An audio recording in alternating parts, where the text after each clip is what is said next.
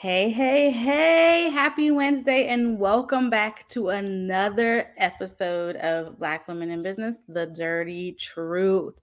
So, today we are bringing kind of a special one that is near and dear to the three of our hearts. And just like everything that we've talked about over the last month, going into month two, so excited it's a topic that gets thrown around and that we feel like has some cultural barriers and has some misinformation and misguidance around it and we want to kind of break it down from our standpoint and i kind of want to reiterate that this is our viewpoint on it like it's not the word and it's not maybe how you see it but this is just talking points and ways that we want to help you move forward and kind of open that dialogue. That's how we stand in those spaces is if we can have the dialogue have the conversation and get those things out there and that's what we want to do today so today you can see the ladies here have already been rubbing them hands together and smelling the hands and doing all the things. I'm gonna get to mine, don't worry. We're going to talk about what essentials are and what they ain't. Essential oils. I don't know if I said oil. I think I just said essentials, y'all. Essential oils, what they are and what they are not, what they ain't. All the ebonics up in here, y'all. so over the last few years, probably we can probably even go back now and say five, six, since we've kind of slowly come over this hump that we've had. We, I know the three of us and anybody within our industry and who use oils have seen like this major of where essential oils have gone. And there's a lot of misinformation. There is a lot of um and just a lot of this about what they are, what they do, where you can get them, whose is better, and all of that there's a lot. And we're just gonna kind of give it to you real and raw, like we've done over the last month, because we don't know how to do it any other way. So, if you have any questions for us, if you're live, drop them in the comments. We will answer you as we go if we see them. If not, we'll drop it in there. If you're catching us on replay, hashtag us replay so we know to come back and engage with you. So, let's jump right into it, y'all. Essential oils. What you got? Well, I will first start off by saying um, I feel like this last year, people have come to say that when you use essential oils, you're practicing some sort of witchcraft. Well, I'm here to say that I'm not a witch. I don't know anything about that. I'm not Hermione. I don't do that. Okay. So, um, for me, essential oils are not practicing witchcraft. It's just having a wellness cabinet in my house for my babies and everybody else around me. But what I've wanted to just preface by saying, I'm sorry if I come off a little abrasive in this because uh this, like Tameka said, this is near and dear to me, and I'm pretty sure them too. But I feel like this started back before like the slave passage when um i guess africans they were practicing their own thing native americans they were practicing their own thing and they were using essential oils um and then you have europeans come in and they do all this and i'm sorry if it ain't white it ain't right i don't know how many times i've heard that around my area and then you have people coming in of Caucasian descent and they're using these oils. And now all of a sudden we want to jump on this bandwagon of, oh, this is the thing to do now, just because they say it's okay. But why couldn't we trust our own selves and stick with what we knew instead of just saying, okay, now they say it's okay, we can now do this? I don't know, but that's just where I'm at now. And they have not been any hocus pocus for me over here. I just actually consistently use them and know that they work for me and my family. That's my two cents. Love it, love it, love it. Um, so I know for me, so I have a very logical brain. So even when it comes to stuff like faith or stuff like I, you gotta give me evidence. Don't tell me this does this just because it does it, right? Like I need to understand the science. I need to understand like how it got to where it goes. Um, so first and foremost, I would love um, for those that are watching, if you are not familiar with essential oils, let us know in the comments. If you are like, I've heard about them, I know they smell like something, but that's about it. Um, I want to first and, and, and start with the basics because first and foremost, what are essential oils? I think that's key, right? So they really are that um, volatile li- liquid from the plants, herbs, shrubs, whatever you're ex- extracting it from. Um, fruits, we usually cold press them from the rind. Um, but starting there, the processes matter because something can smell like lemon but not operate the way lemon is supposed to operate in the body, right? And so, first and foremost, for all of us, the reason we did our diligence and uh, chose the company that we're with is because of the extensiveness they go through in order to make sure what we have in the bottle is what it is. Okay. So for me, when I really started making that transition, because essential oils were always a part of my life, a part of my culture. Um, so growing up, um, we grew up using medicine as well as herbs and oils and things like that. Um, but I know that growing up, we did have, in fact, some young living oils that we later found, but they were mixed in with all types of other oils too because we did not understand that there was any difference. And I think that when we had that huge rush of people, oh, essential oils, this blogger said that this is good, and they started using them, they ran out to the store, they grabbed whatever oils was recommended, they used it, and it didn't work. They were like, well, now I just smell like patchouli. Great. right? Smell like incense. And so now what? Right. And so then they just left it because there was no education piece to that. And so I want to start with that. It wasn't until I got the education piece to connect to the power of what it does that then I saw the transformations in our life, in our health, in our wellness, and how it cooperates with a healthy lifestyle.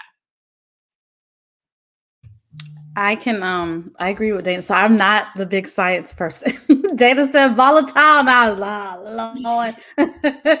that but it, I'm not that I am the person that's like I do need the like give it to me, but I'm more like let me try it. And if it does, then I'm like, wait a minute, how did that work? Like, whoa, now let me figure it out. But I need it on the like the little oils for dummies book because all the rest of that will have me researching more because I don't know what this means and I don't know what that means.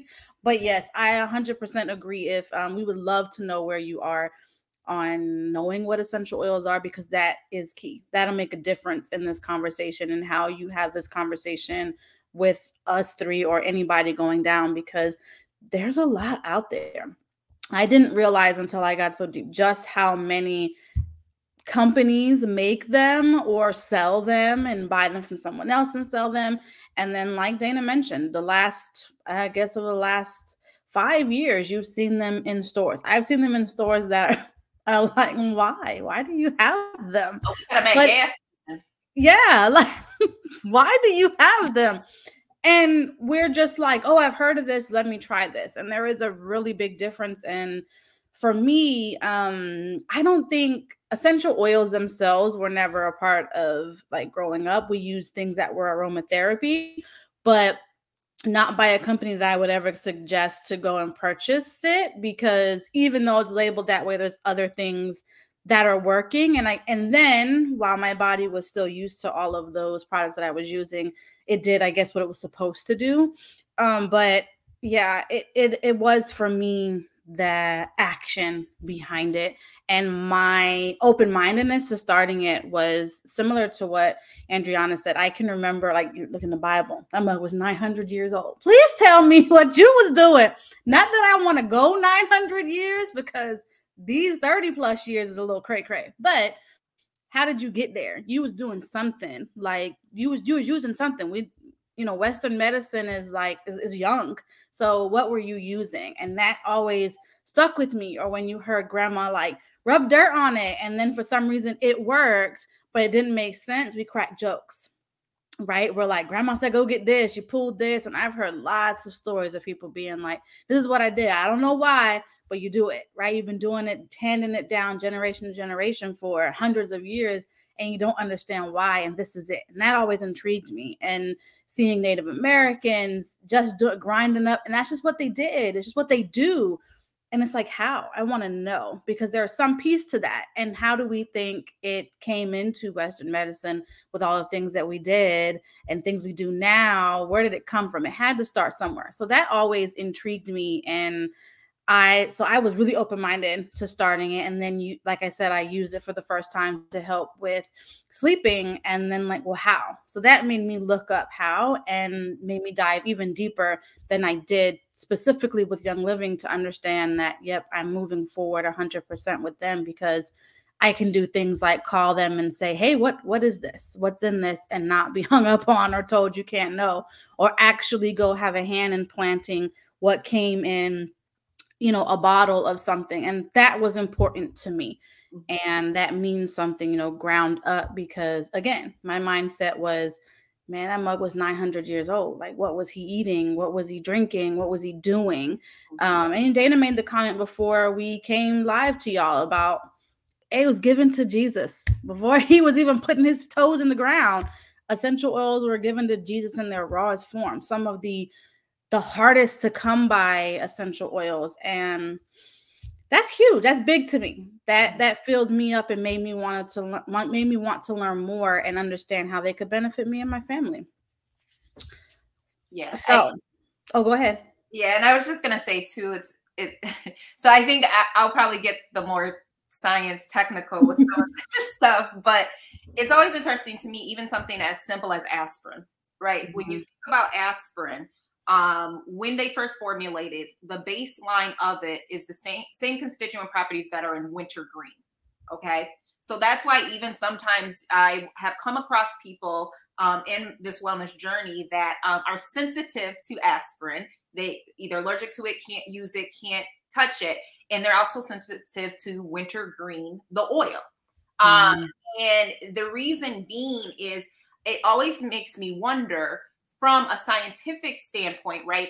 If you depended on nature to be your supplier, it's going to limit how much money you can make, right? Mm-hmm. So what they've done is they use the baseline of that same constituent property. So they're still using wintergreen. There's a reason they're still using wintergreen, right? But then they mimic or they try to mm-hmm. mimic the properties. They expand on it and then they create medicine. Okay. If you really, really research the vast majority of medicines, it's stem lines from what they've studied in nature and how it's able to repair in nature or fix certain things in nature. And they try to duplicate that. Mm-hmm. And so to me, it only makes sense if you're just taking something from nature, anyways, and trying to duplicate it. Why don't I just go to nature and start there? right. Um, the way our cells operate and respond to things, right? There's certain things that, again, have been studied where when we use things like essential oils, it actually opens up and oxygenates our cells. The more oxygenated those cells are, the more good things can get in there. Mm-hmm. And the easier it is for that body to then fight, right? When it comes. So I want to first be very, very clear. I am not saying that essential oils cure, heal.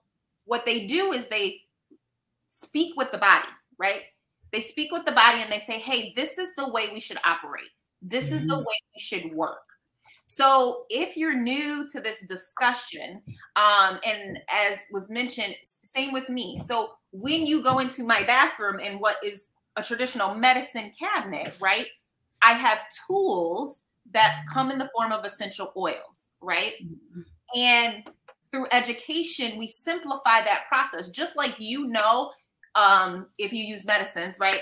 My stomach hurts, I give my kids Tums or whatever. I don't know, or I don't know the medical name. I just I think the brand. Sorry, I, I try not to put out brands in there, but whatever whatever you would call those anti anti acid pills or whatever.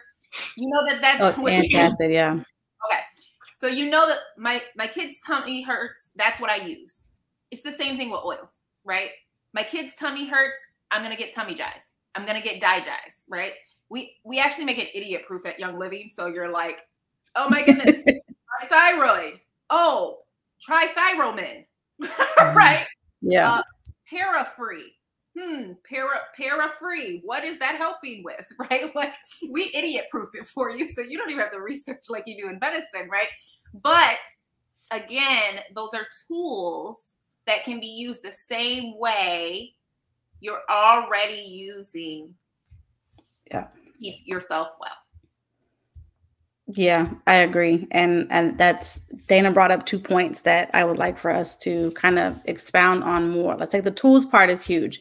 Um i'm glad that somebody said it because i was like ooh you might want to say that is that there there are there are tools and i know we've mentioned in another episode you know about you know we when you got that friend that's always sick right? Every every time in december they get in this because like dayna said it's speaking to your body it's working with your body's natural rhythm and its natural cadence and doing the things that your body's like oh i can i can take this in use what i need send it here there and and every everywhere and then get rid of it. Whereas you know that aspirin or whatever you're taking is a much bigger oh let me let me get a little science. Oh, I'm finna do it, y'all.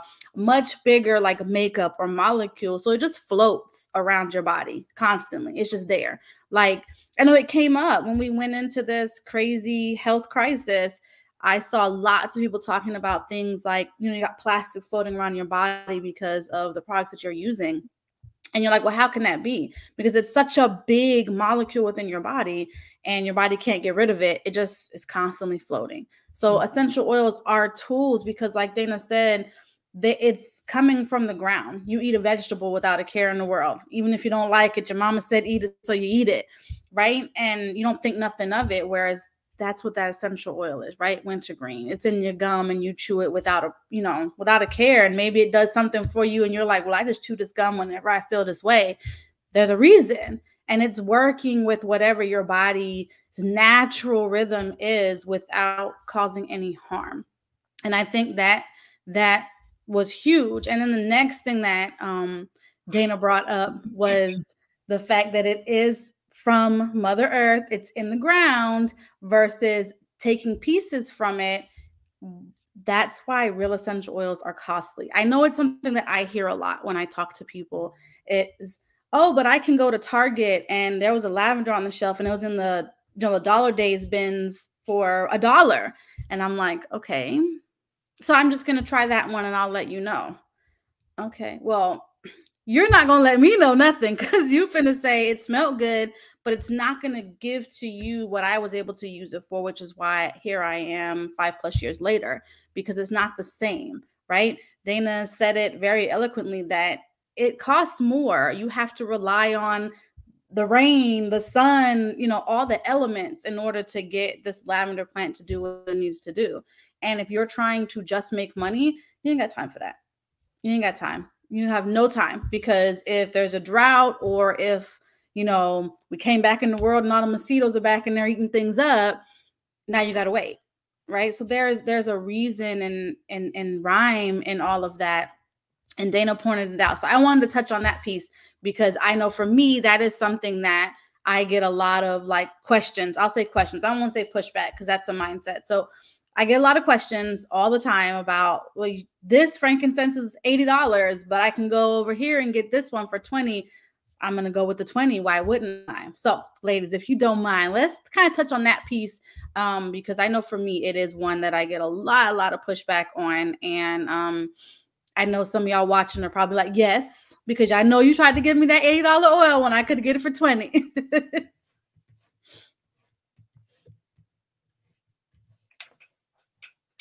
I just feel like for me, because I, I, get this question a lot too, like what sets, I mean, why would I spend $80 for frankincense when I can go and get it for $15 at Walmart? I, hey, um, I do it because um, it helps. It works for me. And I know with the seed to seal promise of the company that I am with, the sourcing, the science that's behind it, and just like I think Tameka said earlier, where she can actually go and plant this and see this whole process done, the transparency. It's transparency for me.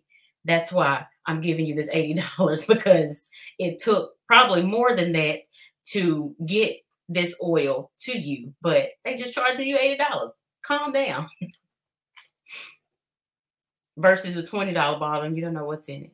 It might be water that you're getting. I don't know what you're getting. The other thing to keep in mind too is um, unfortunately, when it comes to natural health, the regulations, at least in our country, is very, very loose, right? So, according to our government, this is cosmetics, right? It's cosmetics.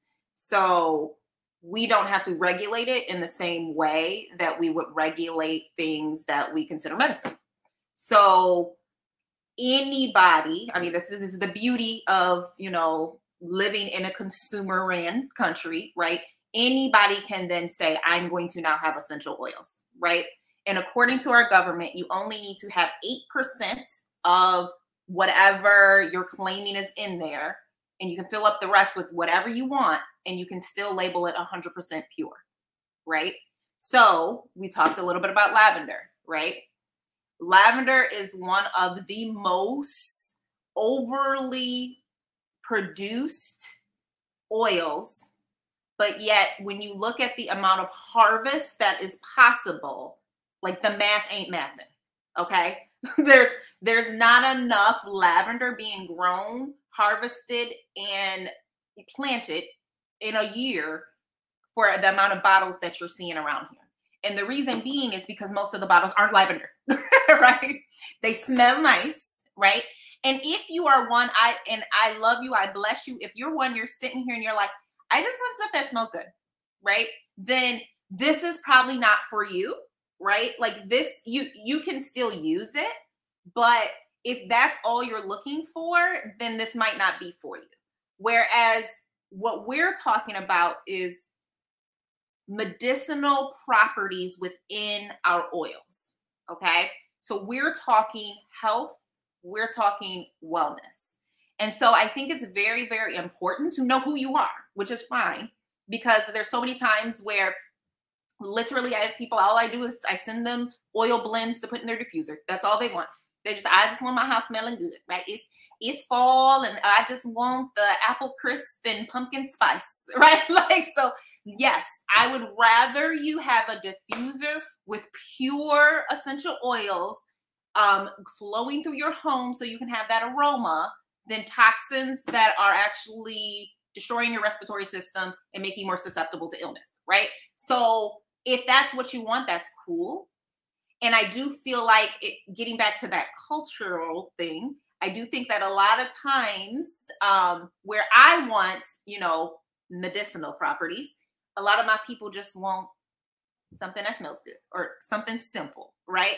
And so it can be for either or. And so I just wanted to put that out there too that um find your space where this works or makes sense for you and the small changes that you make every day are going to impact in a bigger way, right? So I, I'll just use this analogy like if you smoke, right? If you say, Hey, I'm going to work out, but I'm not ready to quit smoking, you're still going to be in a better position, right? Because you're working out than if you're like, I'm smoking in, I'm just sitting on the couch not doing nothing and not being active. And again, you know, no judgment one way or the other, but all I'm saying is if you're going to make small changes, start little, right? And move up incremental until you can make those bigger changes. For me, it was drastic. When Young Living came into my life, my son was sick. I had no hope. I had to get rid of everything. I was like extreme. My poor husband was like, What is happening? what is happening, right? Like, so you don't have to be that extreme just to be riding with us. I guess I said that. I I can say hands down because I was just thinking like Dayna's absolutely right. It's something that I say a lot, especially within my oil community, is that just a little bit. Because if you make that decision, I'm going to throw away the candles, the wall plugins. Listen, hand to the sky. I had probably a wall about six, seven years ago, maybe a little longer. I had a wall plug-in in every outlet in my house, candles on, you know, the warmers because I didn't really want to light them because I had this thing about them burning so quickly and you pay so much money for them. So you melt them and everywhere. So I know I get it. I want you want your house to smell good. You want people to walk in and be like, oh, it smells good in here. But it was my youngest. I remember we brought him home. We had a dog at the time, and we walked through the door. And every time we would come home, he would immediately start sneezing. And I was like, oh, I think he's my first thing was not the products within my home because my house smelled good. It was I think he lurked to the I'm ready to boot the dog the house, y'all, because I'm like, it's the dog. It has to be the dog. It's the only thing in here that could be causing that problem. Because my thing was, why would anybody sell me something that could potentially harm myself or my child? Right. And I know a lot of you are probably like, yeah, why can I buy something that is harmful to me in any capacity? So it wasn't until I had on, I don't remember what it was. I had on some kind of body spray or perfume, and I was holding him and I lifted him up, and just that side of his body had broken out. The rest of it was fine, but just the part that was on me. And I thought, ooh, something's not right. So we turned everything off, moved it out, left. We went, I think it was my oldest football game, came home, and he didn't sneeze. So it was like a click for me. So, like Dayna said, if you're just right now, you're not ready to grasp the whole, you know, wellness part of it because maybe it seems like a lot, or you're like, that's just not my space, but you want your house to smell good.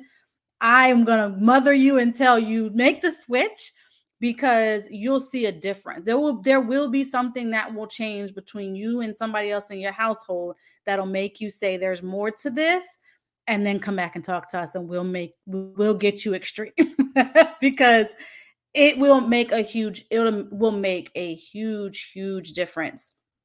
Just that little that little switch that little switch in your home with whether it's air quality maybe your skin is totally different. There will be something because there is a lot not to make this like a whole dr phil special on what's in something you're using but just saying that just give a little quick you can even use your little google search box and do a little search and you'll be very surprised at what that small change can do. And like we say, baby steps to everything in life. You start making a change and, and it's going to be, it can be drastic for you, like hugely drastic for you.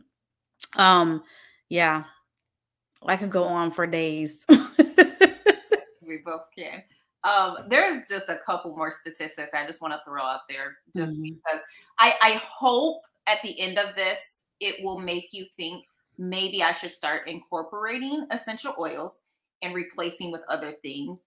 Um, so one of the things that brought me to Young Living during that time period is my son was asthmatic, and I would literally be under his crib listening all night to make sure he kept breathing, right? Like, and so that's how destitute I was during that period. But I just pulled up some statistics that I think are super interesting. So, did you know that um, in the African American population, 40% they're 40% more likely to have asthma. 40% more likely to have asthma.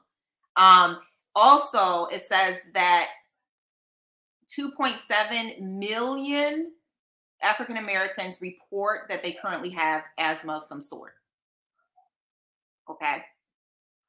Another statistic, it said that, um, and this was back in 2019, so I can only imagine what it is now. Um, it said in 2019, um, African American children had a death rate eight times that of non Hispanic or white children from asthma. And again, I'm not saying this as a scare tactic, but what I'm saying is when we think about our health, we're already more susceptible, but why?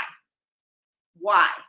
What things in our lifestyle, what things in our environment are directly contributing to these things, right? So if we had a little bit of poison, right? Maybe not so bad. But if you have a little poison from your plugins, a little poison from your candles, a little poison from your hair care products, a little poison from your skincare products, a little poison from the um okay.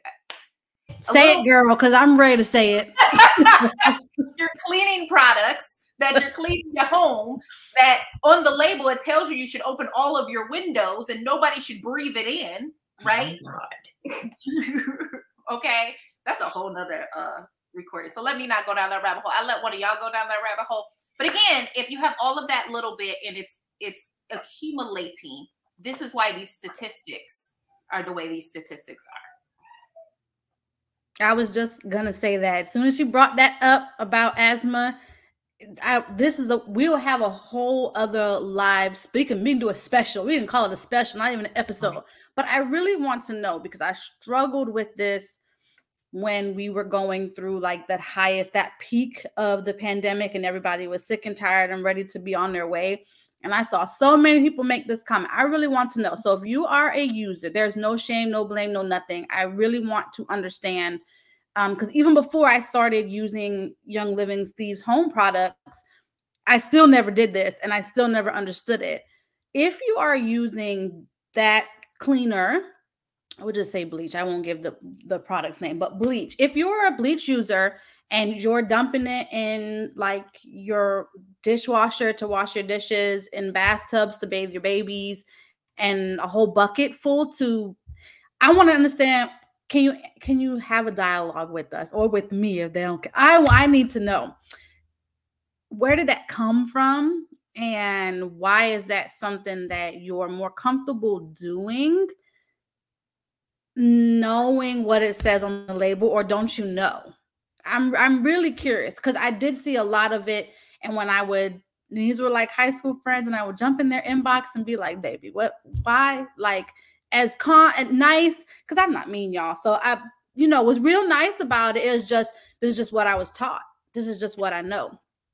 And we're not doing this just to, you know, like middle school age children. We're sticking our toddlers and infants into bathtubs with a cap full of bleach and being like, oh, that's what that's going to clean that baby. But like Dayna just mentioned, you're not even supposed to breathe this in. How are you not breathing this in when you're mopping your floors? Because I can remember doing that and my lungs burning and being like, oh, open the windows. Like my house, I know my house is clean, but open the windows. So or I'm just curious. I would love, huh? Or Go is ahead. it that mentality that um I mean, this is what I have to deal with because this is what I have. This is what I know because for me, I didn't even think about, yeah, my lungs are burning, but I know I'm cleaning my house and that's what I want. I don't care if my mm-hmm. lungs are burning. So are we reading the labels? Do we know to read the labels? Who's teaching us how to read the labels? And I wasn't reading no label. I'm just gonna say that because I Dayna just taught me to open the window because I never did until I couldn't breathe and then open the windows. And I mean, this is not going back that long, but so I would love to have that conversation and because I know that probably triggered a few people hearing that. Um, and we never want to do that, but we're gonna call it like it is um, because it's bad. It's so bad. And when you think you're doing one thing good, it's actually creating a whole slew of other things. And we don't want that for nobody. For nobody. So before we let y'all go, I would love for you to engage with us on this whole episode, but I would love to hear your answers on that too if you are a bleach user and it's something you've just been doing. I want to plug our company really quickly because we all mentioned that you have the opportunity to go and ask all the questions. If you ever pass or just want to go, like take a day trip, family trip to Young Living Farm or anything, you have that opportunity to see the things up hand, up up close and personal in your hand being done. And you can understand why we are so passionate. You can ask all the questions. They are the most humblest people. Those farm workers are amazing it's eye opening. As long as I've been with the company, I had my first experience on a farm and it just elevated the love and respect and passion that I have. So if that is something that you are like, yeah, I want to know a little bit more, I'm plugging Young Living to the max. Get out to a farm. They are literally all over the place. My Europe peeps, you have no excuse because they are there too. So go and hang out on a farm, take some time. They are an open door to see all of the things and just really understand where we're coming from. We appreciate y'all for hanging out with us another week, engaging with us, answering our questions, and you know, just standing in the gaps with us. We will see you next week, same time, Wednesday, 6 p.m. Eastern, 5 p.m. Central. Until then, we'll see you later.